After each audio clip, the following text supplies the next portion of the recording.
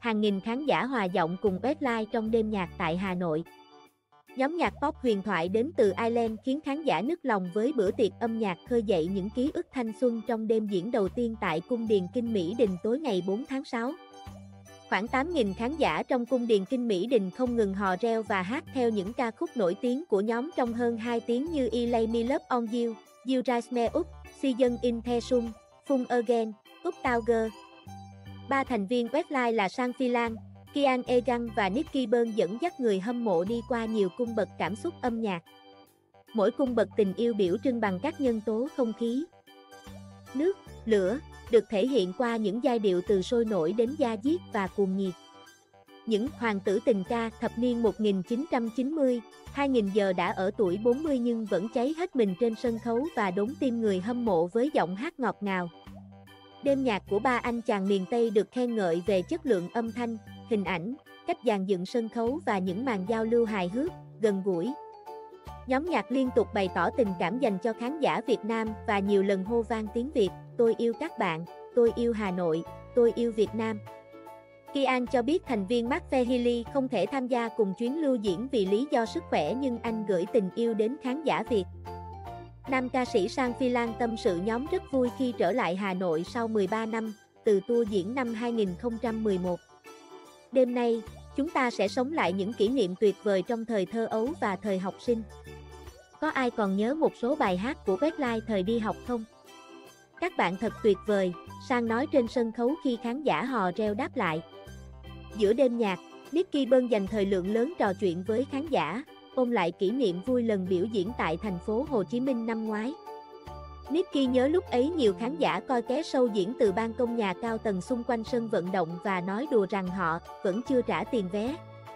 Sau đó, Nicky đọc to các banner thể hiện tình yêu của fan Việt và thấy một khán giả nữ dơ cao banner vải lớn in dòng chữ em đã chờ 25 năm để có được cái ôm từ các anh.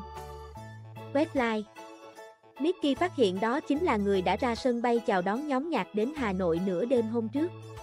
Lúc đó, khoảng 12 giờ hoặc 1 giờ sáng và chỉ có một người hâm mộ ở sân bay.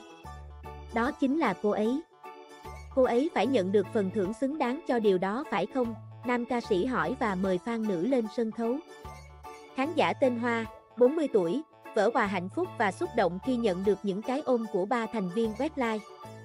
Hoa kể cô bắt đầu yêu thích Westlife từ năm một năm tuổi sau khi nghe ca khúc If I Let You Go và giờ đó vẫn là bài hát yêu thích nhất của cô.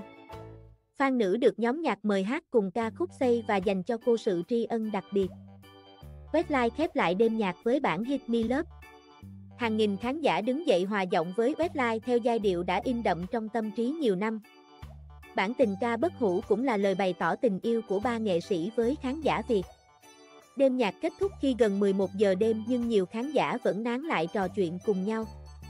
Nguyệt Anh, 34 tuổi, Long Biên, Hà Nội, cho biết cô rất hạnh phúc khi được xem concert của các thần tượng một thời tuổi trẻ. Mình là fan lâu năm của Westlife, nghe từ khi 12 tuổi đến giờ, chỉ kém bạn fan trên sân khấu một chút. Mình rất vui và hạnh phúc khi những cảm xúc ngày xưa, tưởng chừng như sau bao bộn bề cuộc sống đã trôi đi hết. Nhưng hôm nay bỗng sống lại và lòng tràn đầy nhiệt huyết như trước, Nguyệt Anh nói. Cô cũng tiết lộ từng rất tiếc khi bỏ lỡ concert của nhóm nhạc tại thành phố Hồ Chí Minh năm ngoái. Dịp đó, cô nghe lại tất cả bài hát của Westlife và con gái 6 tuổi cũng mê theo mẹ. Bởi vậy lần này, Nguyệt Anh quyết tâm mua vé đi xem cùng con và em gái. Concert thu hút nhiều khán giả thế hệ 8X như Nguyệt Anh và cũng có không ít bạn trẻ thế hệ Gen Z tham dự vì yêu thích Westlife. Không ít khán giả nước ngoài tới xem đêm nhạc và mang theo băng rôn cổ vũ. Một nhóm người hâm mộ đến từ Ireland cho biết họ đã hát đến khản giọng các ca khúc cùng ba nghệ sĩ đồng hương và bày tỏ rằng đêm diễn thật tuyệt vời. Westlife sẽ còn biểu diễn một đêm nữa tại Cung Điền Kinh Mỹ Đình vào tối ngày 5 tháng 6. Hai đêm nhạc nằm trong tour diễn Westlife The Hit Tour. Westlife mời nhóm nhạc Anh 911, cũng là một trong những pop group được yêu thích nhất thập niên 1990, biểu diễn cùng trong chương trình này. 911 trình diễn mở màn, khuấy động với những ca khúc sôi động và vũ đạo cuồng nhiệt dù đã là những quý ông ở tuổi 50. Nhóm dành tặng người hâm mộ bản hit y do. Năm ngoái, 911 đã đến Việt Nam và kết hợp cùng Đức Phúc quay MV Y Do, Em Đồng Ý, phát hành dịp Valentine. Westlife là một trong những nhóm nhạc nam nổi tiếng nhất thế giới thập niên 1990-2000. Thành lập năm 1998 với 5 thành viên, Brian Faden, Mark Fehily, Kian Egan, Nicky Byrne và Sang Philan. Đến năm 2004, Brian Faden tách nhóm. Westlife bán được hơn 50 triệu album tại hơn 40 nước, trong đó khoảng 12 triệu album tiêu thụ tại Anh. Nhóm đã phát hành 12 album, tổ chức 14 concert và 9 tour diễn, thắng giải nhóm nhạc quốc tế xuất sắc tại Hit Award năm 2000 và nhiều giải thưởng khác.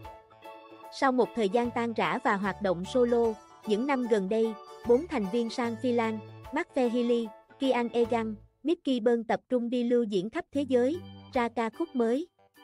Các bạn hãy đăng ký kênh để cập nhật thông tin miễn phí mới nhất.